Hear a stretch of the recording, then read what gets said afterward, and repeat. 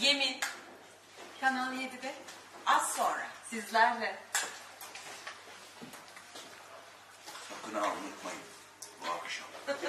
Hello friends welcome back to my channel तो friends Yemen season four में next week से हमें कुछ चेंजेस देखने को मिलने वाले हैं और वो चेंजेस क्या हैं इसके बारे में आपसे शेयर करूँगी आज के इस वीडियो में तो फ्रेंड्स वीडियो का एंड तक ज़रूर देखिएगा और अगर अच्छी लगे तो लाइक और शेयर भी कर दें और फ्रेंड्स मोस्ट इंपॉर्टेंट थिंग अगर आप मेरे चैनल पर नए हैं तो चैनल को सब्सक्राइब कर दें ताकि इस तरह की मज़ीद नई वीडियोस आप तक आसानी से पहुँचती रहें।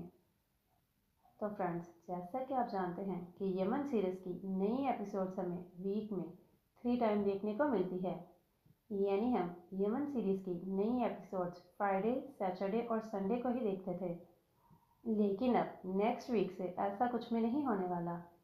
अब से हमें यमन सीरीज़ हफ़्ते में सिर्फ़ दो बार ही देखने को मिलने वाला है। जी हाँ फ्रेंड्स यमन सीरीज़ की वन वीक में जस्ट टू एपिसोड्स ही देखने को मिलेंगी।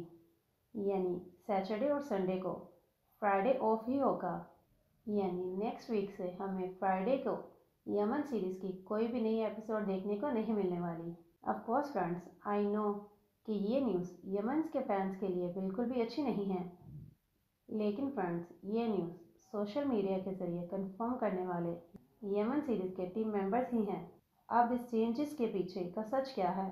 हो सकता है कि इस चेंज के पीछे मिस्टर कोपेड मिर्जी के साथ पेश आने वाला एक्सीडेंट हो, जिसकी वजह से यानी यमन सीरीज़ ने अभी तक मज़ीद नई एपिसोड्स की शूटिंग मुकम्मल नहीं की होगी। या फिर फ्रेंड्स इसके पीछे कोई और भी वजह हो सकती है। तो फ्रेंड्स आपको ये न्यूज़ कैसे लगी? अच्छी या फिर बुरी? कमेंट्स में ज़रूर बताइएगा।